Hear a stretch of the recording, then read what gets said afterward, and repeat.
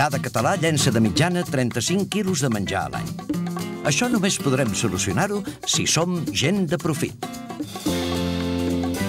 El convidat d'avui és un savi i aprendre coses noves al seu repte diari. Jorge Wagensberg. Avui te n'espera un de nou. A veure aquest repte.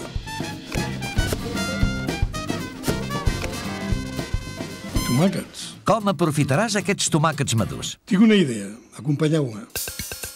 Aquí tenim eh, 12 tomàquets que representen la producció mundial de menjar. Aquest tomàquet representa la pèrdua econòmica. Cada català perd 112 euros a l'any llançant menjar. La suma entre tots els catalans suposa uns 841 milions d'euros anuals. Aquest segon tomàquet representen les 500.000 persones a Catalunya que podrien menjar amb el menjar que llancem. A Catalunya es llencen 262.000 tones d'aliments a l'any, mentre que el 22% de la població viu sota el llindar de la pobresa. Aquest tercer tomàquet representa els recursos que llancem quan malbaratem el menjar. Aigua, energia i esforços humans.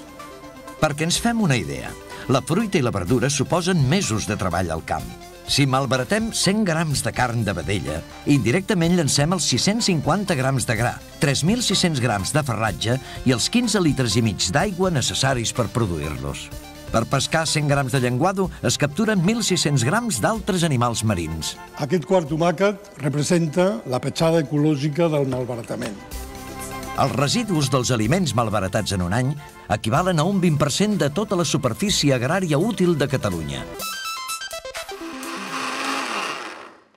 Dels 12 tomàquets que representaven la producció mundial de menjar, ens queden només 8. Segons la FAO, són els que mengem. Els quatre que he posat a la batedora representen el que malbaratem, és a dir, un terç de la producció mundial d'aliment.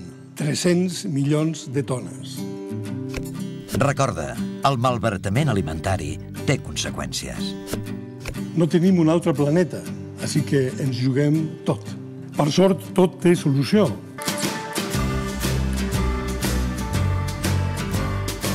Som gent de profit.